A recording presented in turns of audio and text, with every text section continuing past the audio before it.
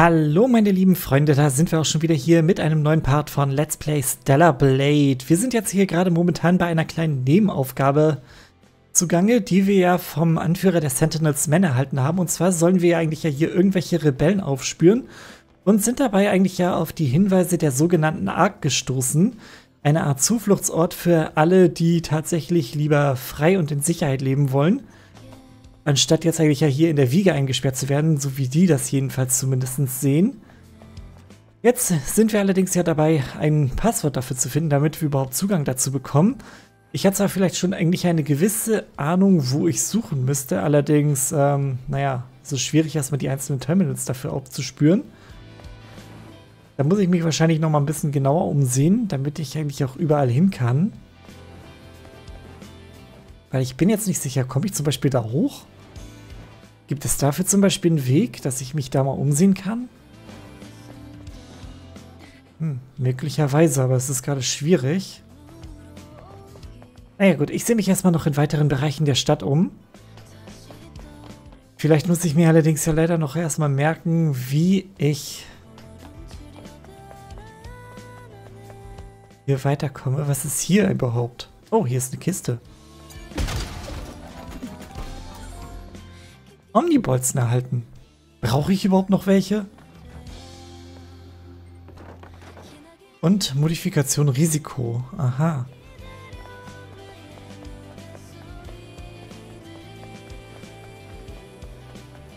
Na gut, laufen wir erstmal weiter rum. Ich muss ja noch ein paar Terminals suchen.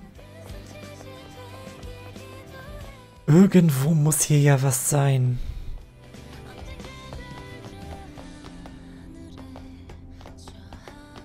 Also ich bin mir eigentlich ja ziemlich sicher, ich habe noch mehrere von denen gefunden hier eigentlich. Also ich bin mir sicher, ich habe mehr als nur dieses eine da gesehen.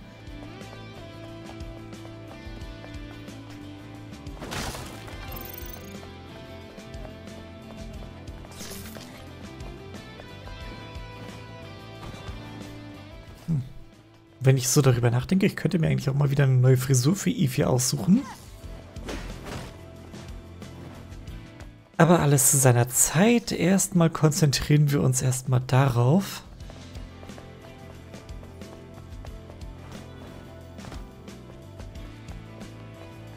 Hm? Warte mal, da oben liegt ja noch was.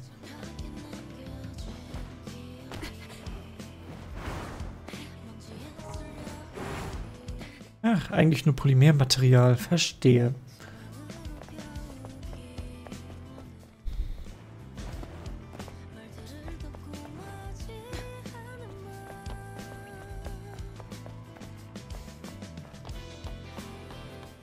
Sonst habe ich hier gerade nichts. Merkwürdig. So groß ist Zion eigentlich ja gar nicht. Also es müsste doch deutlichere Hinweise geben darauf, oder nicht?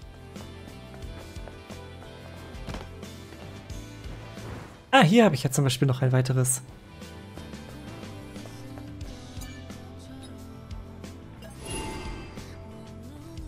So, das ist der Buchstabe K.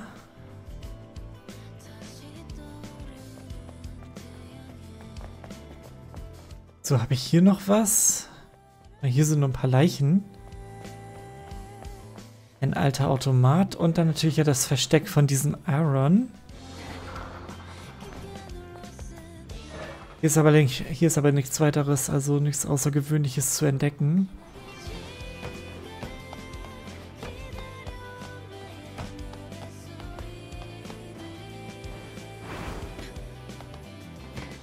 Bei Man, jetzt komme ich wenigstens eigentlich auch endlich mal hier rauf. Mehr oder weniger zumindest. Oh, hoppala. Okay, da geht es anscheinend nicht rauf. Aber hier könnte was sein.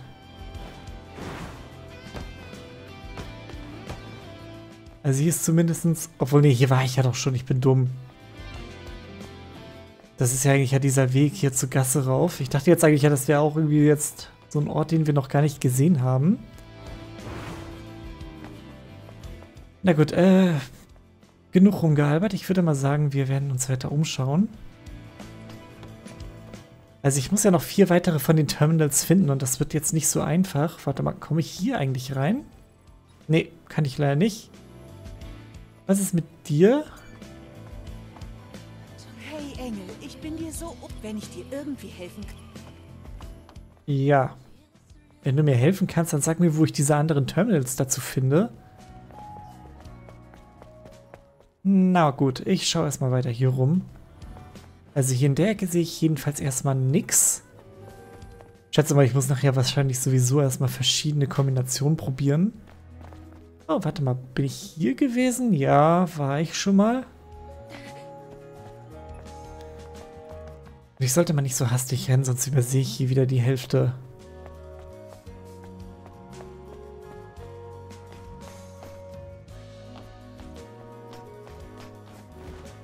So, da ist zum Beispiel noch ein weiteres Terminal.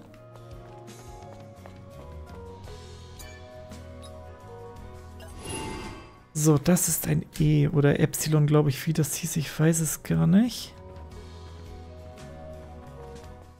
So habe ich das eh damals früher eigentlich ja immer in der Grundschule geschrieben, zumindest am Anfang. Jetzt irgendwie mache ich das ja natürlich ganz anders. Gut, bei Kaya ist hier sonst weiter nichts Besonderes.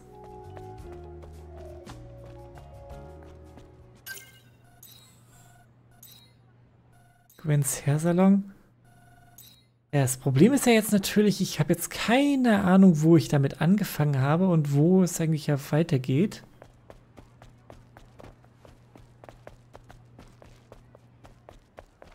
Also ich habe jetzt irgendwie keine Ahnung, in welcher Reihenfolge ich die jetzt alle hatte. Ich hoffe ja wirklich also, dass äh, der Code automatisch jetzt eigentlich ja praktisch hier jetzt eigentlich ja sozusagen eingetragen wird. Also dass ich dann... Also dass das System für mich jetzt merkt, also in welcher Reihenfolge der Code sein muss. Also sprich in... Wiefern die Stadt jetzt hier im Uhrzeigersinn aufgebaut ist und die Terminals dementsprechend angeordnet wurden. Ich hoffe mal wirklich, das Spiel macht das. Also es wäre jedenfalls nett.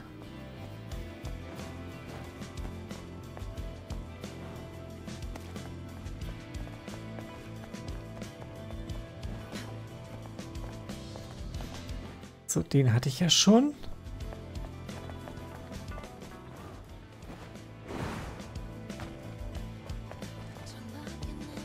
Hier liegt sonst erstmal weiter nichts rum. Äh, warte, oder? Warte mal, kann ich mir...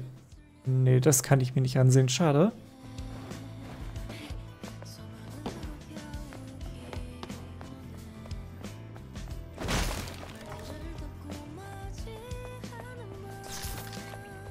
Na gut, sehen wir uns mal weiter hier um.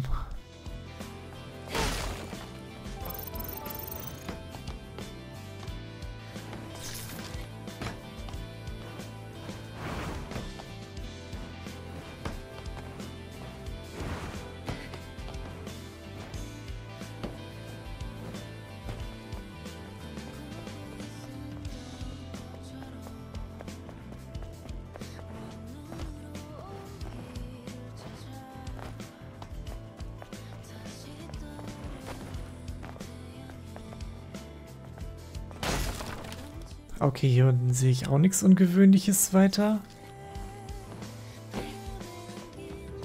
Im Krämerland ist hier eigentlich auch nichts. Oh Mann, das wird natürlich noch nicht so eine ganz einfache Geschichte hier. Also ich kann wahrscheinlich noch etwas länger danach suchen. Das wird schwierig. Habe ich das Gefühl. So, hier könnte ich ja noch was finden, eventuell.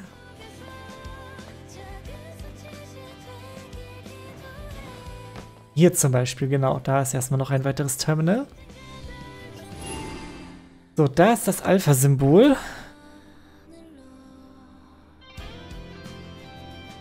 Also es könnte gut sein, dass wir eigentlich ja tatsächlich alle Symbole dieser Art hier finden würden. Gut. Alles klar, fehlen jetzt noch zwei.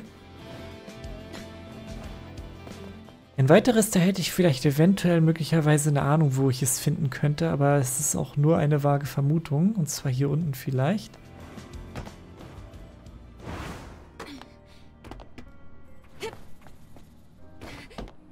Beziehungsweise auch sogar hinten bei, unserem Unterschlupf ist ja auch, glaube ich, noch was gewesen, vielleicht, eventuell. Da war ja noch so ein Gang nach unten.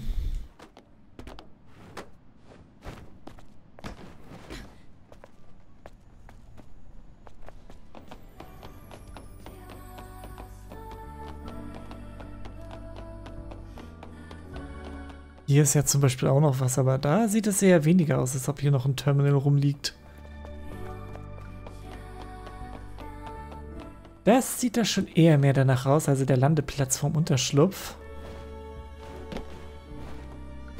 Habe ich eigentlich auch mal letztens so durch Zufall entdeckt, dass hier noch so eine Leiter nach unten führt. Allerdings, naja, vielleicht ist ja hier noch ein bisschen mehr.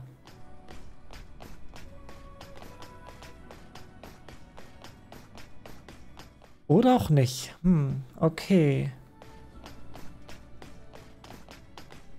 Das war also kein Erfolg.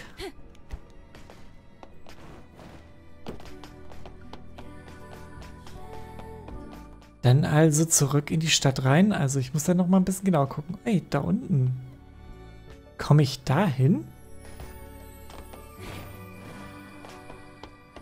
Also da blinkt es zumindest etwas verdächtig. Vielleicht könnte da ja was sein, was wir suchen. Obwohl, nee, da war ich doch schon, oder? Ich weiß es nicht. Mann, ich bin verwirrt. Äh, ich raff da gerade gar nichts. Was ist das hier alles bloß? Nee, das ist ja eigentlich ja bloß dieses Versteck. Ich weiß nicht, wem genau es gehört. Ist aber auch auf jeden Fall ein Unterschlupf von jemandem, das ist klar.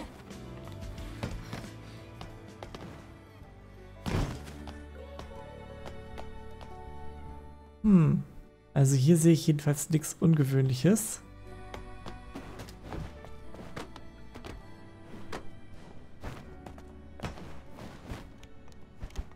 Also kein Terminal dieser Art. Ja, und keine Sorge, die Standorte habe ich mir ja gemerkt und außerdem, man sieht es ja auch dann sofort, sobald wir eigentlich ein Terminal finden, das wir schon bereits benutzt haben.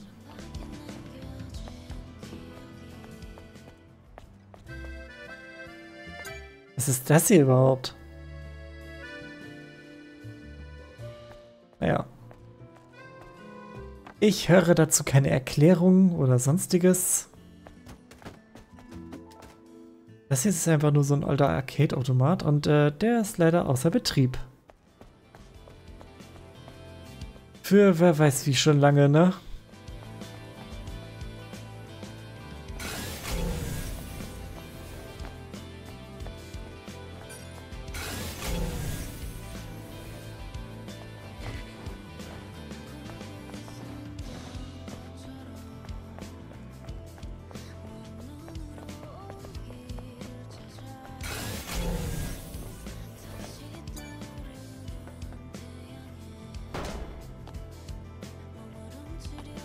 Tja, nix.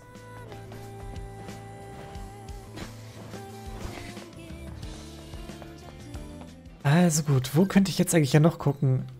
Äh, ja, genau, ich glaube in der Bar könnte ich noch nachsehen. Äh, das ist nicht die Bar. Wo bin ich hier gerade? Wo war die denn jetzt nochmal? Ich glaube hier lang, ne?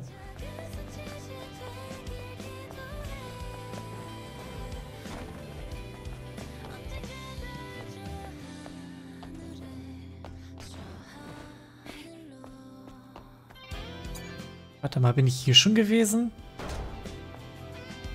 Okay, er schmeißt nichts raus. Schade. Wie schaut's hier aus? Ne, in der ollen Kneipe ist nix. Und hier in der Ecke findest du auch nichts weiter.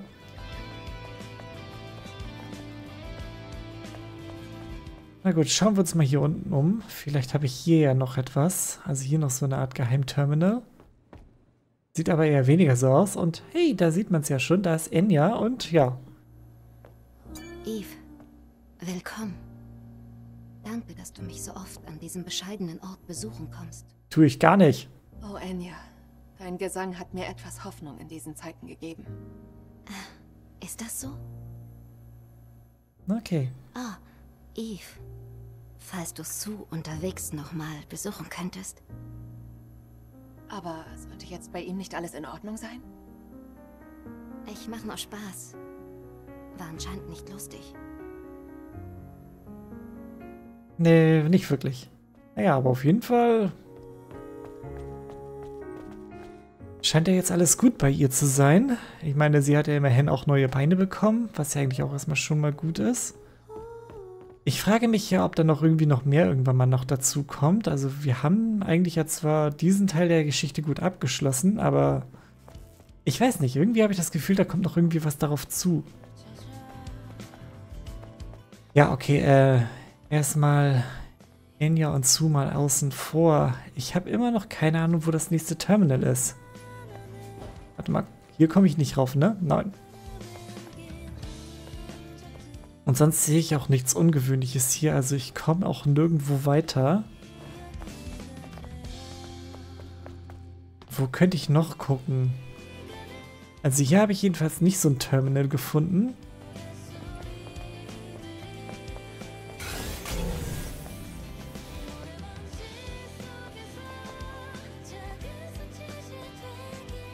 Oh. Da lag Geld rum. Ist das etwa so eine Art Wunschbrunnen? Okay. Ah, hier ist ja der Typ mit dem Teddys. Ah. Wäre vielleicht keine schlechte Idee, mal wieder das Teddybär-Kostüm anzuziehen. Das sah irgendwie schon richtig niedlich aus. Aber mal gucken. Also erstmal will ich ja natürlich eigentlich erstmal neue Outfits ausprobieren. Also alles, was ich an neuen Outfits bekomme. Ah, hier ist noch eine. Den hatte ich tatsächlich noch gar nicht. So, das ist dieses Symbol.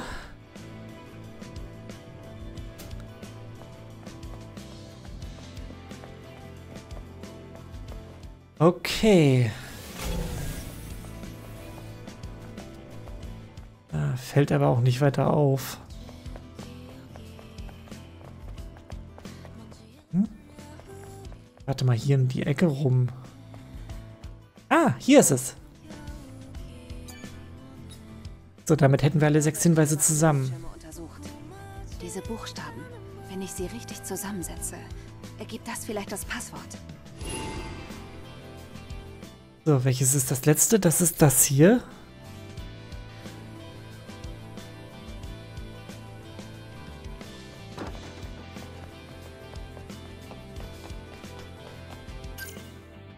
So, was war eigentlich die Mission? Löse das Rätsel der Ark.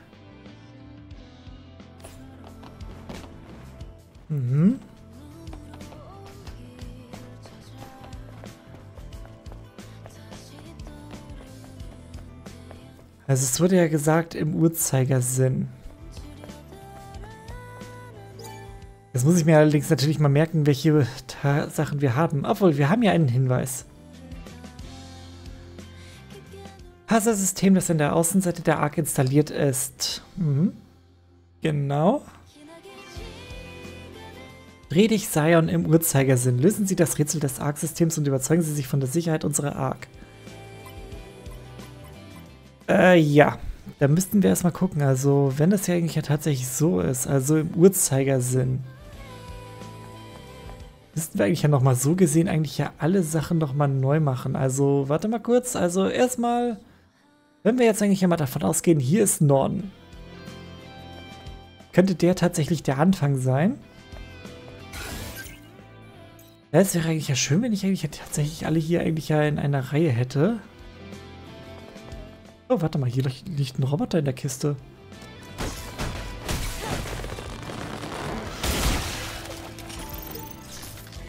Oh, neuer Zugangscode. Memoria Plaza. Ah, gut, den können wir nachher auch noch benutzen.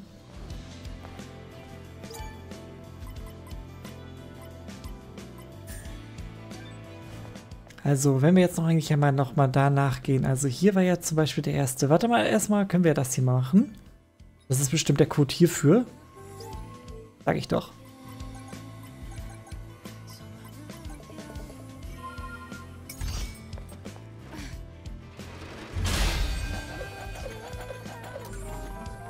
Hm, okay, Nano-Elemente.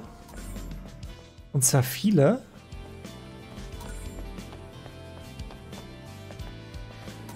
Ja, wie gesagt, ich weiß jetzt überhaupt gar nicht, in welcher Reihenfolge ich jetzt die ganzen Codes machen soll.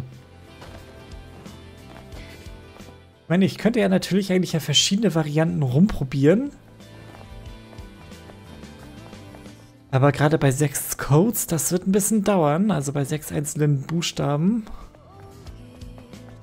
Ich meine, ich kann ja erstmal eigentlich einmal versuchen, das so zu machen. Also erstmal das.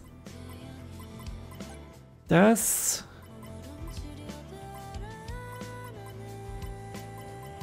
Dann hatte ich den hier gehabt. Das, also ich nehme jetzt mal eigentlich ja die Reihenfolge, die ich ja jetzt hier selber notiert habe. Das ist aber schon mal falsch.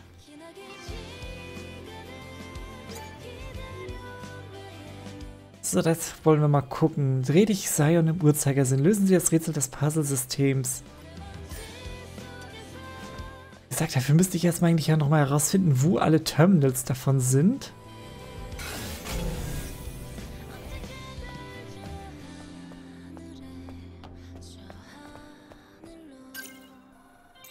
Es wäre ja schön gewesen, wenn ich wenigstens eigentlich ja alles hier mal...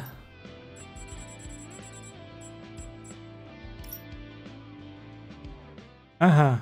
Okay, Arctech.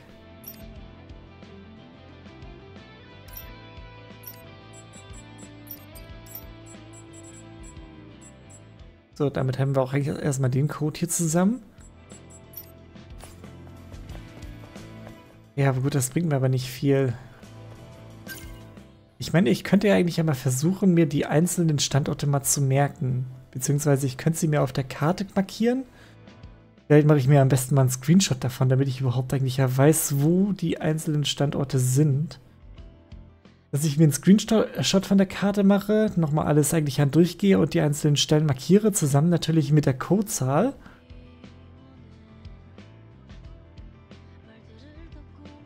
Und dann einfach natürlich hier gucke, was wir eigentlich ja so alles haben. Also, dass ich mir jetzt eigentlich ja jetzt hier tatsächlich eigentlich ja, ich muss das eigentlich ja dann eigentlich auf diese Weise machen, aber es ist schwierig. Also, was habe ich hier notiert? Also hier war ja eigentlich ja tatsächlich erstmal der Buchstabe, also der Kreis mit dem, äh, ja, mit dem Ding hier drinne.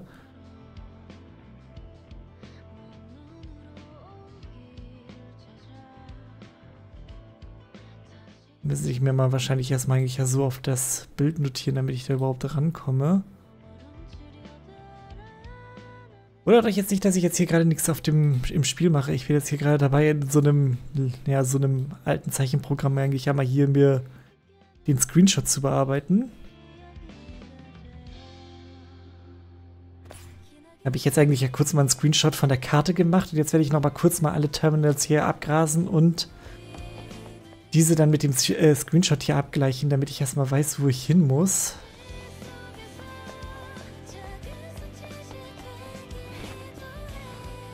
Das sollte eigentlich ja tatsächlich der sinnvollste Trick dahinter sein. Natürlich erstmal wieder herausfinden, wo waren die Terminals nochmal? Also hier hatten wir erstmal zum Beispiel noch dieses Terminal. Das ist äh, auf der Karte hier unten.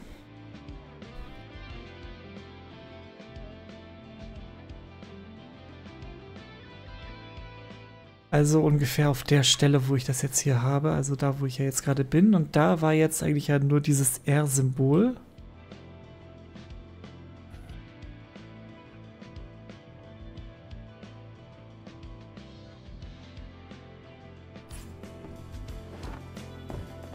So, dann hatte ich ja noch eigentlich erstmal das eigentlich ja bei dem, äh, bei den Händlern, also bei Sisters Junk und so weiter. So, hier war ja nur die Bar, das hatte ich hier nicht, das gibt's nicht. So, hier war ja auch noch einer. So. Das ist eigentlich ja der Standort hier, also ungefähr etwas unter dem Teil. Oder dem hier, also unter dem Schnellreiseteil. So, da müssen wir nochmal kurz gucken. Da muss ich dann notieren, das war das war das U, also das äh, Pi-Symbol, glaube ich, ist das. Ich habe keine Ahnung, oder...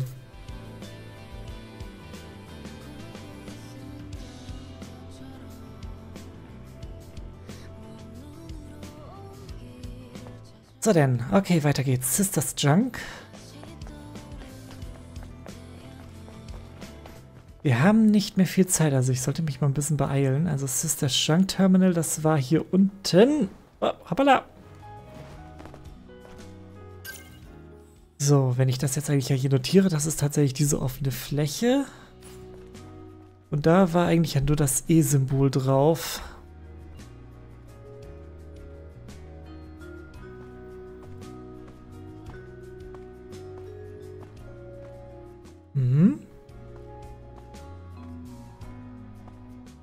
Okay, aber irgendwie scheint die Reihenfolge doch noch nicht so ganz zu stimmen, oder? Also, wenn ich jetzt eigentlich mir so die Standorte so ansehe, wo ich jetzt hier die Notizen dafür mache, sieht ein bisschen durcheinander aus. Also es ist schwierig jetzt eigentlich ja da die richtige Uhrzeit zu finden. Also wenn ich im Uhrzeigersinn gehen soll, es ist schwierig eigentlich ja jetzt da die einzelnen Stand Standpunkte zu machen. Standpunkte, wo muss ich jetzt noch lang? Also wo waren jetzt die anderen nochmal? mal?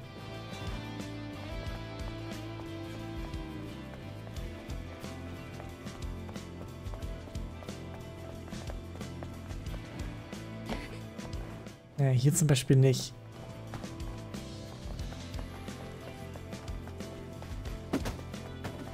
Warte mal, liegt hier noch irgendwas rum, was ich gebrauchen kann? Nee, eigentlich nicht. Sieht auf den ersten Blick wie so eine provisorische Werkstatt aus. So, hier war ja noch eins. So, das Alpha-Symbol, das war hier unten.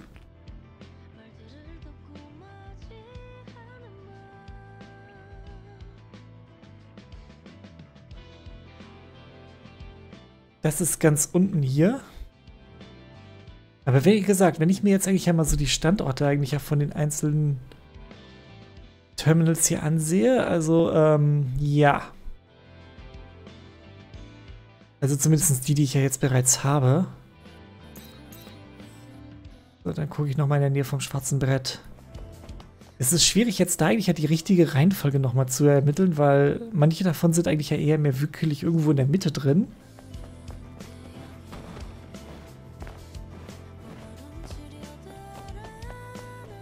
Also, wenn man mir sagt, geh nach dem Uhrzeigersinn, dann ist es ja natürlich für mich klar.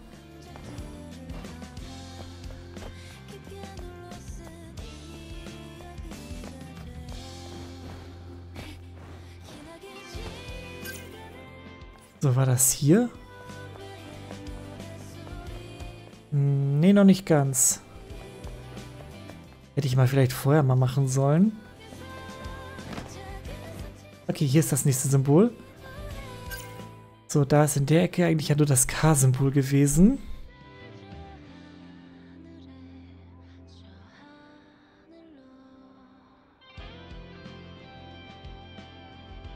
So, gut. Ich habe jetzt in meinem Screenshot jetzt erstmal alle Daten dafür zusammen.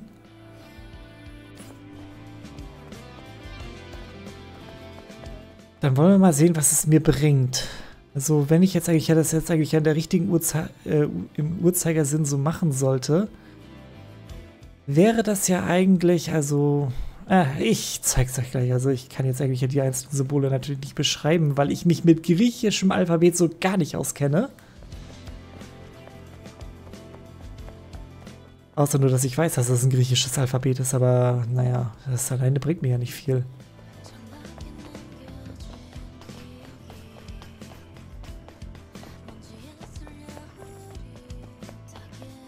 So, dann gucken wir mal, was wir hier haben. Also, dann gucken wir mal. Also, wenn es jetzt eigentlich ja stimmt, was ich jetzt hier vermute, dann müsste es erstmal so sein. Dann kommt das. Dann kommt eventuell das hier.